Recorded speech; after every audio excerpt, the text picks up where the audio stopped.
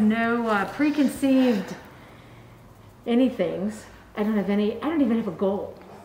I mean, this is like not anything that I thought I'd have to do. My point of sale software has the number of items I have in the store, which is 10,000. 10,000 items in this store? Yeah, but it could be like 25 of a single greeting card. Yeah, but still, I don't the- crazy. it, it is crazy. And I, Wow. I, I don't know if I can get everything on. There's some stuff I probably can't show. I mean, I'm doing the best that I can, and I guess I gotta hit, I gotta hit marketing. I don't know exactly how to do that.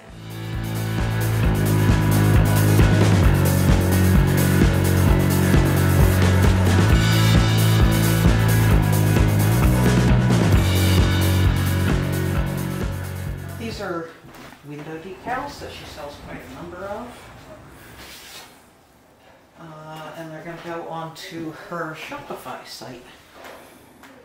And people can buy them there and she can mail them right off. Nice. Really pretty. I've got that one and I've already shot. It's, it's gonna be chumpy. I hear that. I thought it was the ladder falling. And that one too. Oh, nice. Yeah. And you can see the difference. No shine on that picture. Put just a little bit of sparkle on. And it really shows the depth of the piece, even though it's pretty one-dimensional. Um, it makes it look more like it's going to look on your window at home. Excellent. She's pretty good at this. Yeah.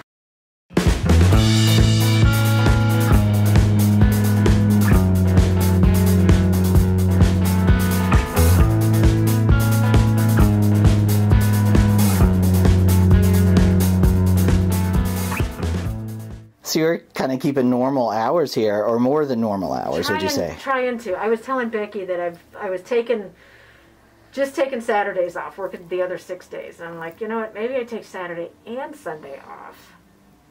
Just to see if I can sit and do nothing. I don't know if I know this probably hasn't worked for you. has it? That's great.